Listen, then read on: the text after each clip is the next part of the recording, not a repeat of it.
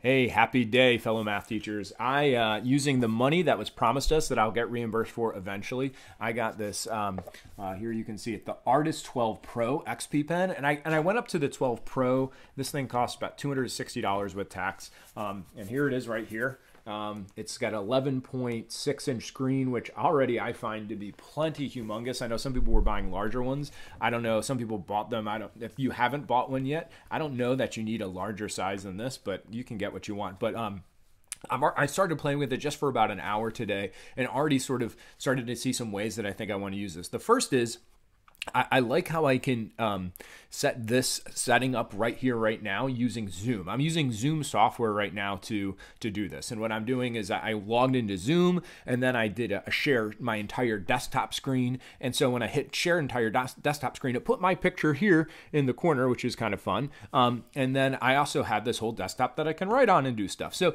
all right, I, I, I got the XP Pen plugged in. It plugs into the HDMI port and a USB port, and that USB port um, also powers the thing, which is great.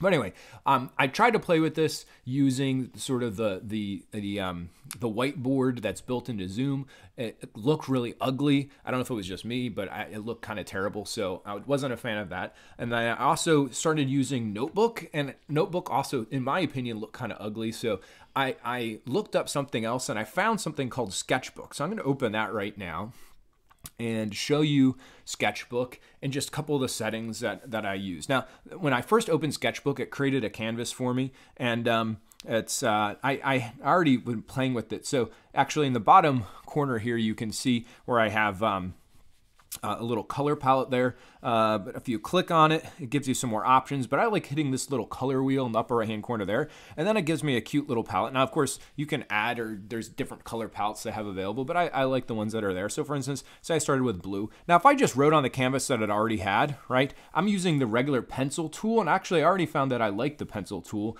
with a hardness of about five. And you notice if I click on that and I click on this little settings things, it gave me some options. I like the pencil tool, but there's others, right? There's like a paintbrush, and that one to me looks kind of weird. I don't know what, I don't know. Is that a paintbrush? Maybe there's some way that it looks better. I don't like it. And there's a calligraphy pen, right?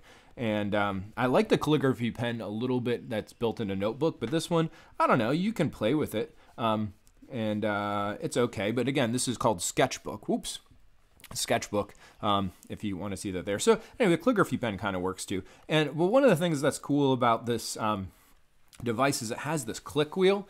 Um, right here, this kind of red click wheelie thing. I don't know which one you you're gonna get, but this guy is a click wheel where I can quickly like zoom in and out.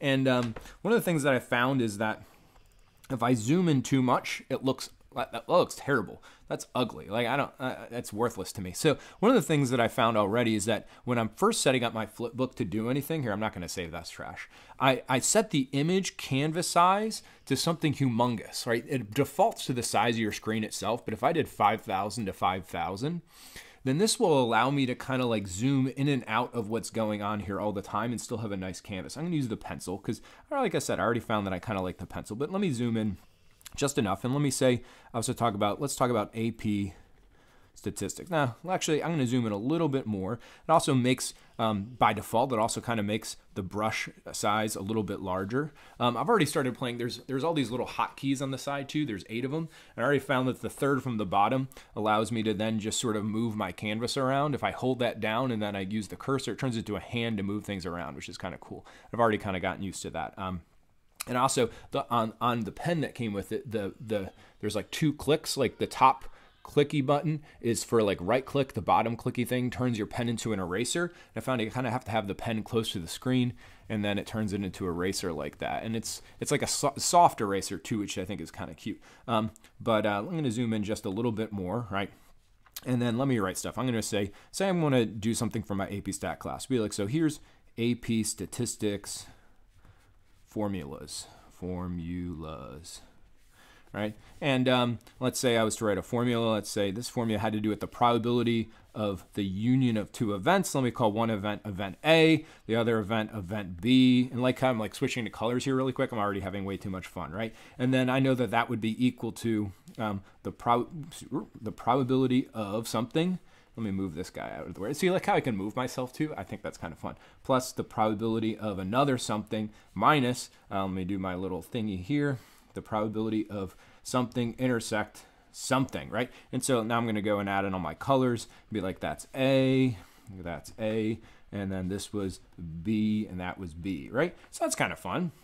And then if I use my my uh, my wheel, like I can zoom in and out of that in different kinds of ways. And now I'm gonna move the canvas. So say I wanted to depict that in a nice way, like I could. Um, uh, let me go. Uh, I got my pencil. Let me pick another color. Let me just use black here. Right, black kind of looks like the other ones. One of the nice things here is it sort of it almost writes like a real pencil. I mean, it, it like re, it reacts to the things um, nicely. So here's a here's another cool trick that I already discovered. Say I just drew a circle. Like actually that's not bad, you know. And there's nice undo shortcut, but that's also a pretty good circle. But there's also this cool like predictive.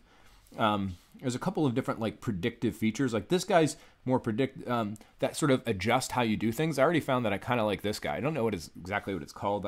It's said somewhere, but anyway, check this out. When I draw a circle, it kind of whoo, it fixes it just a little bit. Like it's not a perfect circle, but it makes it just a little bit better than what I actually did. And so that's kind of cool. So if let's say I, I called this event A, and it can do that with my text too, but anyway, that didn't do too much there. Say this is event A. Ooh, and I was trying to represent A union B, then I could shade that in, and then there's B. I could shade in, say, all this, and I'd shade in like this.